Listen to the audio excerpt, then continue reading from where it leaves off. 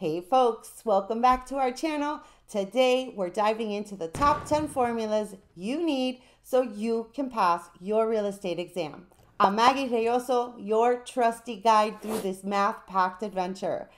Don't forget to hit that subscribe button so you never miss out on any of our real estate wisdom.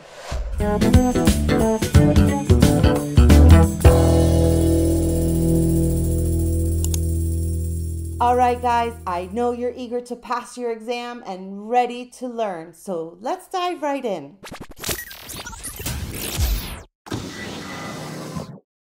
For the following examples, we're going to use the T-chart method. If you're not familiar with the T-chart, I'll drop a link in the comments below to a video all about this amazing method that literally takes the guesswork out of whether you have to multiply or divide. It is a total game changer.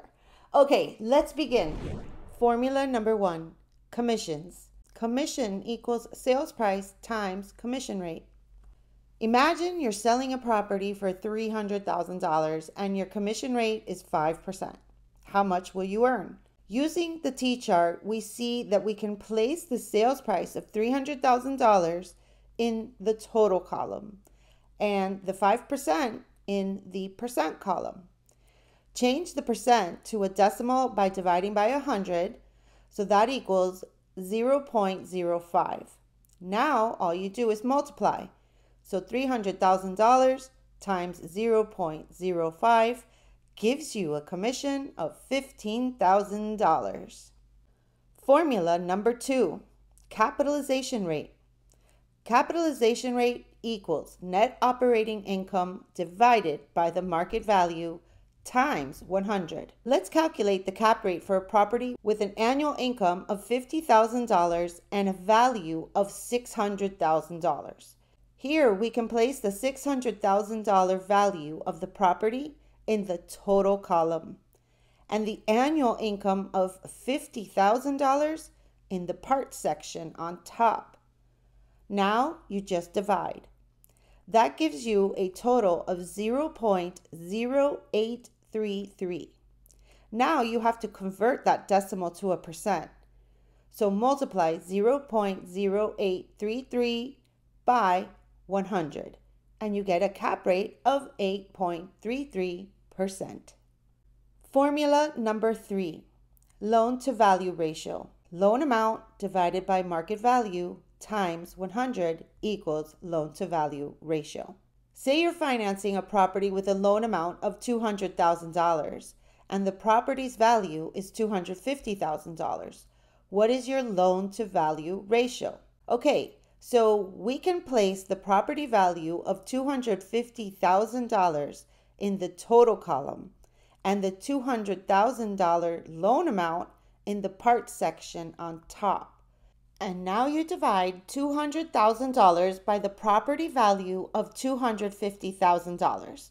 And that equals 0.8. Now we got to change that decimal to a percent.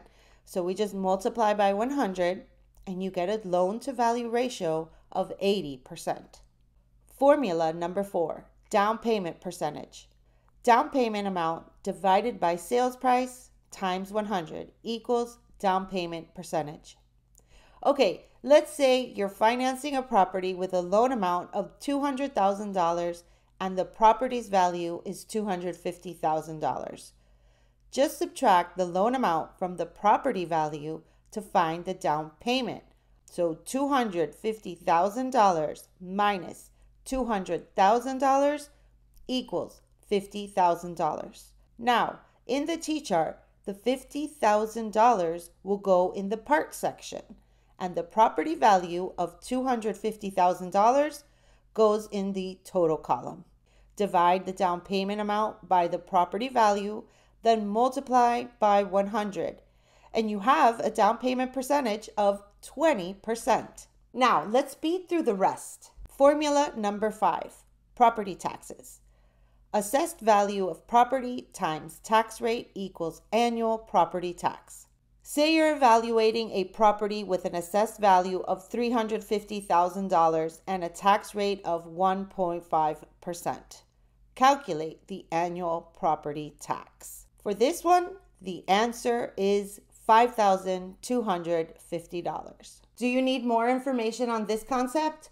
I'll drop a link to a video all about calculating property taxes in the description box below. Formula number six price per square foot. Property price divided by total square footage equals price per square foot. Okay, so a house is listed for $280,000 and has a total area of 1,800 square feet.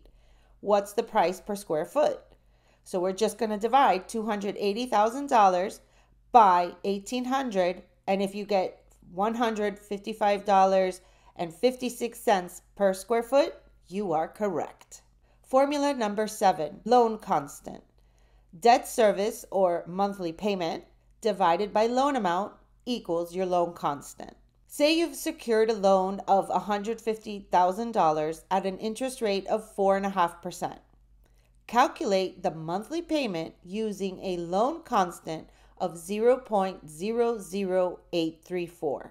In this scenario, you just multiply. If you got $1,251, you are a smart cookie. Formula number eight gross rent multiplier property price divided by annual rental income equals gross rent multiplier. A commercial property generates an annual rental income of $60,000 and is priced at $800,000.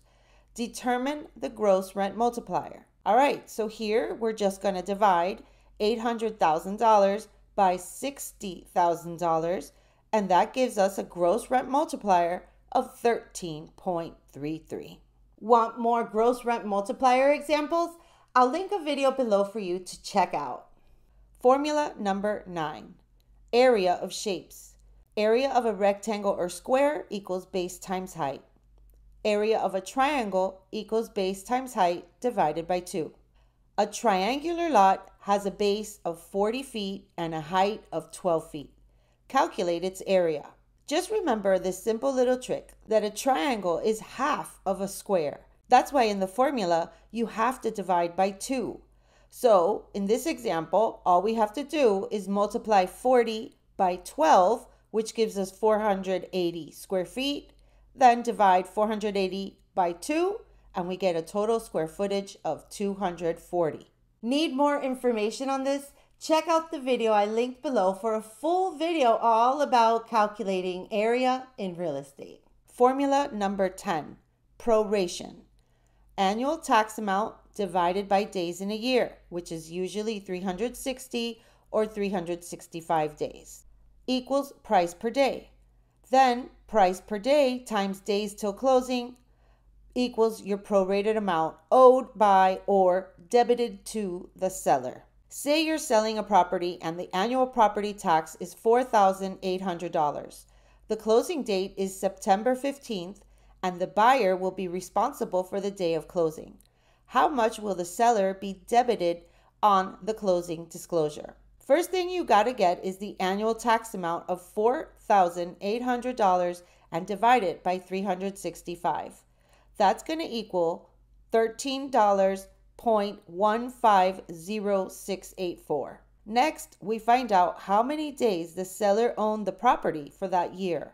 So from January 1st till September 14, since the buyer owns the day of closing, that makes it a total of 257 days the seller owned the property for that year. Then just multiply $13.150684 times 257 days, and you get a total of $3,379.73.